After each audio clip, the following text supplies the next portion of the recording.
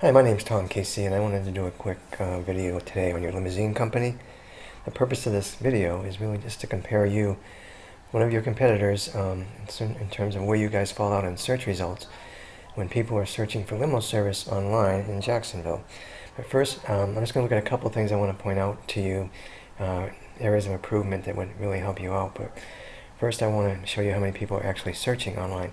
This is a Google tool um, that counts searches by month and it rounds them up. Um, anyway, this is what the last 12 months people were searching for limo service in the Jacksonville area. There's 210, 210, 170, 140, 140. This should be 210 again.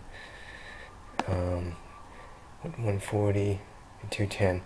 So that's a lot of people searching uh, for limo service. So I thought that this would be a good exercise um, just to show you how you compare. So what I did is I went to um, Google and I did a query for uh, limo service in Jacksonville. And this is page one. And what I want to do is find somebody I want to use somebody on this page to compare you to. Oops sorry about that. So I'm going to use East Coast Transportation.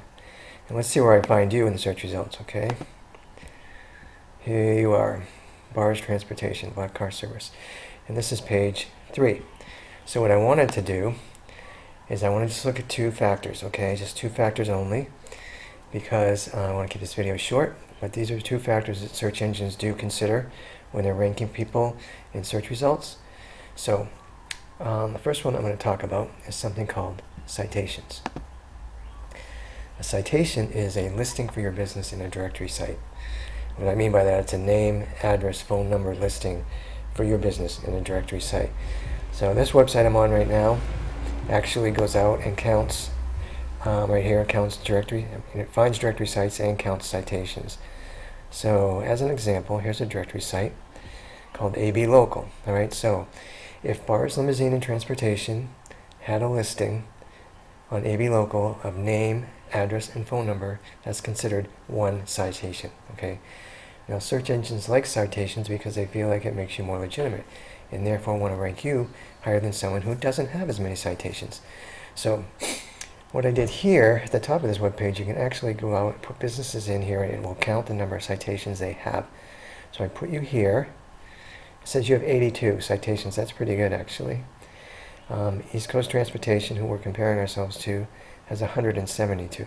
So you can see there is a difference, but um, the good news is that you can get added to these directory sites fairly quickly and fairly easily.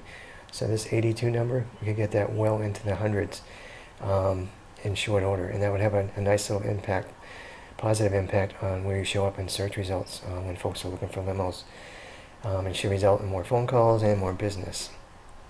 The second and last factor I'm going to talk about is something called backlinks.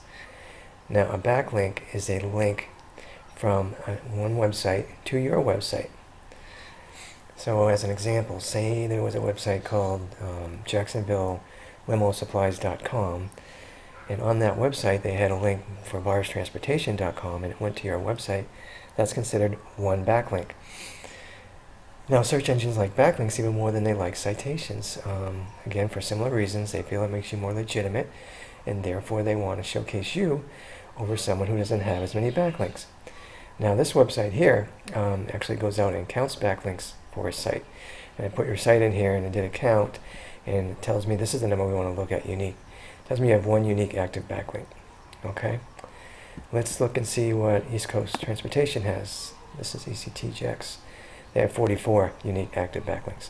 So that's obviously a, a, quite a bit of a difference. But the good news is you don't need 40 backlinks to, to improve. Um, probably could just do it with 10 or 15 quality links what we want to do is get this guy up.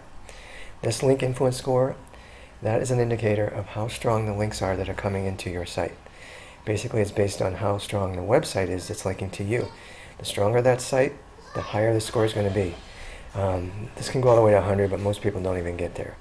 20 to 30% would be fine. So that's what I'm saying. If we just added 10 or 15 good quality backlinks to your site, get the score up into the low 30s, that would have a nice big impact in terms of where you show up now. you show up a lot higher in search results. You're going to get more attention, more more phone calls, more business. So that's the end result. but anyway, um, I just wanted to just cover these two factors, but you can see that just, just between your company and this other company, just with these two factors alone, there is a definite difference. But you also can see that there's steps that can be taken to mediate that difference and correct it, and as a result, help you out and where you show up in search results. Okay, so I hope it was helpful. Um, this is what I do for a living, but I don't charge for consulting.